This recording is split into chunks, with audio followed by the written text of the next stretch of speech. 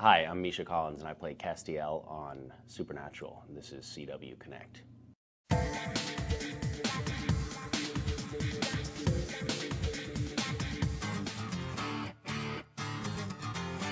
Wow, how sweet. It's really nice to be missed. Um, I am going to be back on, or I should say Castiel. I'm starting to get confused and think that I'm him.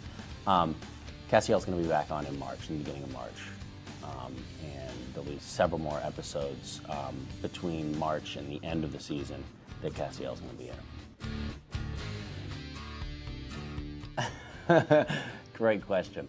Um, it's it's kind of it's kind of cool and it's kind of surreal to be on a show uh, with such uh, such an avid fan base. I, I kind of I'm I, am i am not e- I'm not even quite sure that I believe that um, that people are as um, avid or adamant or possibly rabid as uh, as everyone seems to be saying.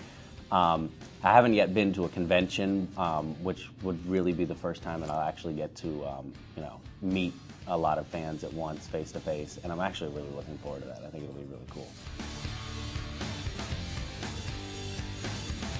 I think the thing that I like playing the most about Castiel is the fact that he is um, still trying to figure out what these human being things are all about.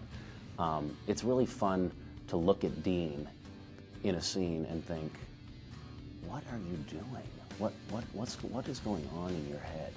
Um, and that is that's you know that's one of the things that I'm I'm working with playing Castiel, and I think and it's and it's kind of interesting. It's kind of fun.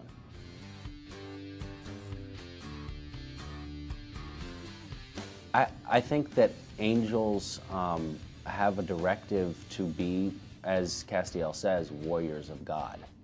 You know that's their primary directive to to fight for and uphold the um, commandments of God. And and this whole being sweet and being nice and taking care of people business, that's sort of an afterthought, I think, for the most part, uh, for angels.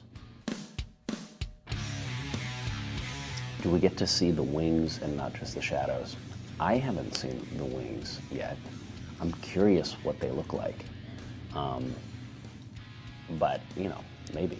I just, I'm, I'm on a need to know basis. Um, and, and evidently, I, I don't really need to know that much. Ghostfacers, um, which was just awesome. It was it had this really um, improvised kind of documentary feeling to it, and it was totally different from any of the other shows that they'd done on the series. And a very supernatural Christmas. That one was great as well. Um, and the, the thing that I really liked about those episodes was that it showed that the, uh, the writers and the producers of the show were willing to just take some really big risks and have fun and um, do something completely different. And, and I think that that, um, I think that that just keeps everybody excited and, and creatively involved in a, in a project. And I think that, that was really cool. I liked reading the part as as a demon and as an angel. I, I, I, came in and I thought I actually did a pretty pretty cool demon. I was really uh, sarcastic and dry and and I thought it was it was I thought it looked like a really fun role to play. And then when Kripke right away said, uh, "No, actually, he's an angel," and I read it again, um, it was just it, it, it, had a very spontaneous sort of improvisational feel and that was fun too. But i didn't really know what i was doing. It was sort of a hail mary at that point. Um, so yeah. I liked them both i um, i will not no i will not be with uh, you or anyone forever because human beings are mortal and i am unfortunately a human being um, but I will be on Supernatural um, next season if it's picked up for another season, and I'm really looking forward to that.